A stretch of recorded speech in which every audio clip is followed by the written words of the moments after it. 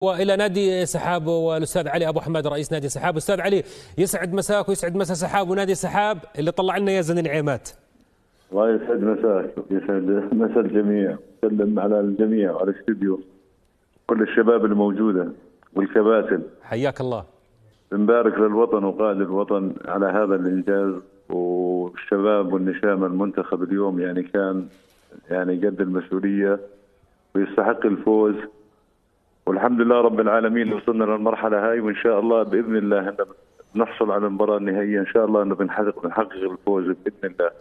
وبنشكر كل إنسان دعم ووقف مع مع المنتخب وساندهم بالدعم المالي والمعنوي وال وهذا أكبر إنجاز يعني.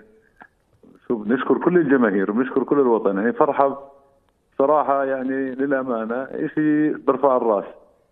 وبنشكرهم على كل هذا الجهد يعني للأمانة يعني كانوا قدها وتحملوا مسؤولية. ونسأل الله التوفيق في آخر مباراة إن شاء الله بإذن الله في النهايه إن شاء الله.